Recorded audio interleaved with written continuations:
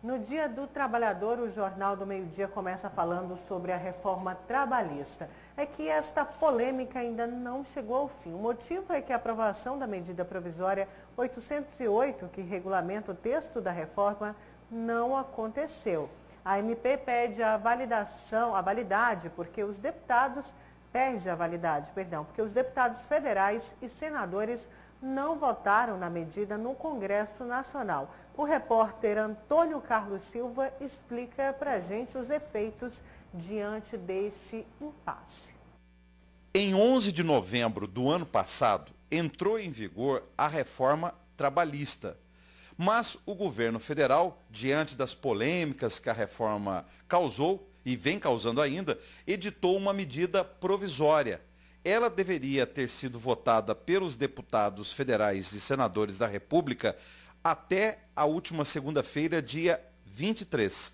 Como o Congresso Nacional não votou esta MP, ela perdeu a validade. O problema é que ela corrigia várias distorções, ou detalhava ou esclarecia várias situações polêmicas da reforma trabalhista. E agora há um vácuo jurídico.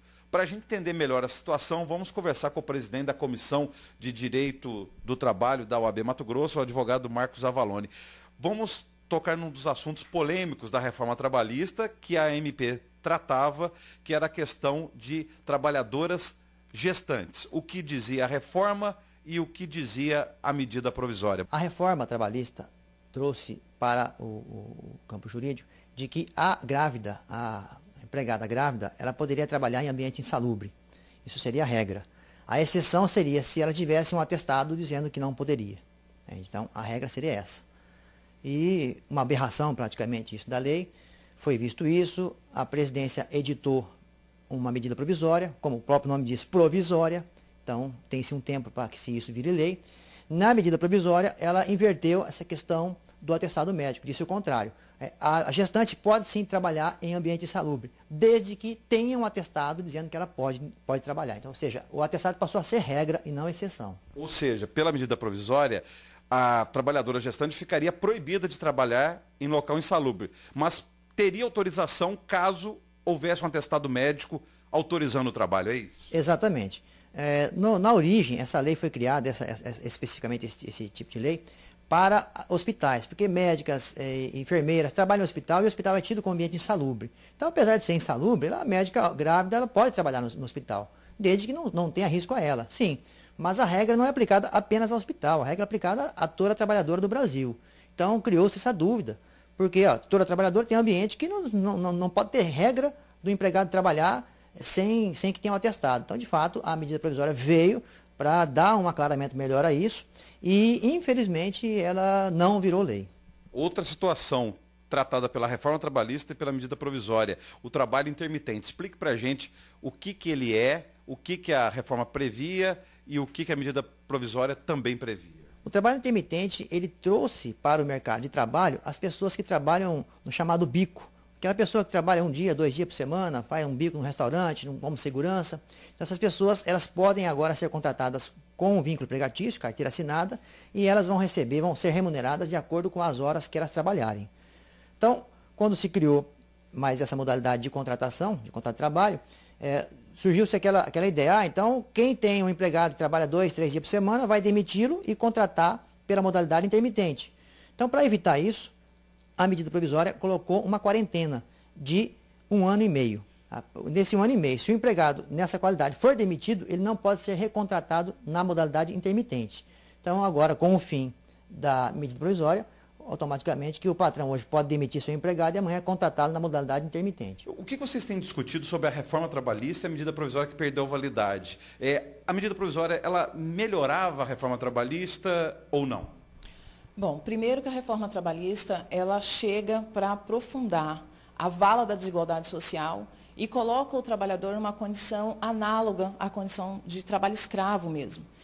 A, a medida provisória, assim, não existe nada que melhore a reforma trabalhista. Né? Tudo que vem de lá para cá, na condição que a reforma foi, foi pensada, ela vem mesmo para agredir e desmontar todos os direitos. Então não tem medida provisória que dê jeito. O governo fala agora num decreto presidencial ou num projeto de lei para tentar substituir a medida provisória que perdeu validade para regulamentar a reforma trabalhista. É possível essa aprovação dessas duas matérias ou no Congresso Nacional ou até o decreto presidencial mesmo ser publicado?